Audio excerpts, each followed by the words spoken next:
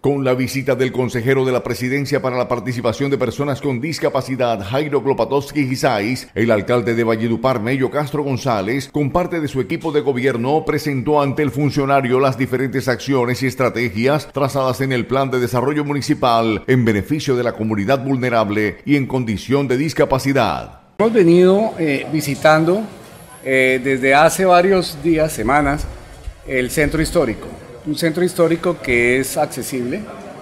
Eh, falta, digamos, mucho más accesibilidad, digamos, en los baños para que los turistas mayores de edad que vienen con algún tipo de discapacidad tengan unos mejores ambientes.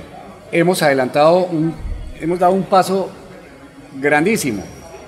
Nos falta bastante por avanzar, pero se está haciendo. Todas las nuevas obras que se vienen realizando en el municipio, está contando con toda la normatividad de la ley, eh, no solamente de rampas y acceso para personas en silla de ruedas, sino también para las mamás que tengan coches y tiene toda la baldosa eh, de accesibilidad para las personas ciegas también. Luego, todas las, las normas que se están haciendo y todas las obras que se están haciendo están cumpliendo las normas del de, eh, diseño universal de accesibilidad para la población con discapacidad, así pues que los quiero eh, felicitar.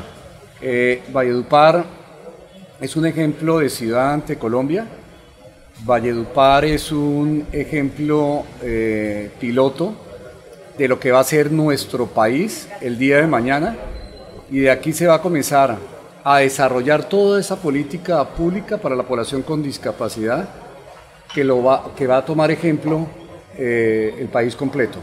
No solamente en diseños universales de accesibilidad, sino en materia de educación. Hoy estuvimos con el, el señor secretario de Educación.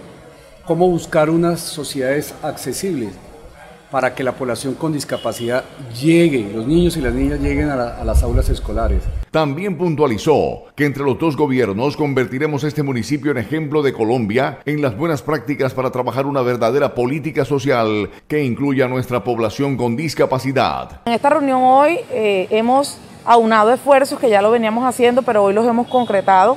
Todas las sectoriales de la alcaldía y de la institución que tienen participación con la población en condición de discapacidad, educación, gobierno, gestión social, salud, eh, Indupal, Fombi Social, todos en beneficio de esta población vulnerable, eh, siguiendo una ruta y un camino para poderlo favorecer y que haya inclusión de estas personas en estos diferentes escenarios de la administración municipal. A través de las secretarías de gobierno, educación, salud y las oficinas de gestión social y Fombi Social, el alcalde Castro González tiene como objetivo incluir y beneficiar a la población con discapacidad para que puedan acceder de manera digna y oportuna a los diferentes programas y oferta institucional que fortalezca una Valledupar incluyente y participativa. Estamos adelantando una concertación de manera mancomunada para el trabajo desde la misma Consejería Presidencial para la Población con Discapacidad, adelantando los programas y proyectos que nos compete a nosotros como cartera de la educación a esta población como tal. Hemos venido identificando algunas necesidades en nuestra localidad para lograr a través de esa concertación con el equipo de trabajo de la alta consejería, lograr darle cumplimiento a todo el programa que adelanta la administración municipal. A su vez, se resaltó la labor de la primera gestora de Valledupar, Laura Sierra, quien abandera proyectos y gestiones sociales en beneficio de la población en condición de discapacidad. Jairo destacó que la primera gestora actualmente desarrolla una importante acción con enfoque diferencial para las madres y padres cuidadores de esta población, brindándoles apoyo nutricional en colaboración con empresas privadas y públicas. Ha sido una reunión bastante fructífera, muy importante, porque es la articulación de las acciones que se realizan desde el gobierno municipal con el gobierno nacional. Nosotros desde la administración municipal, específicamente desde la Secretaría de Gobierno, tenemos la responsabilidad de hacer seguimiento a la política pública de la población con discapacidad.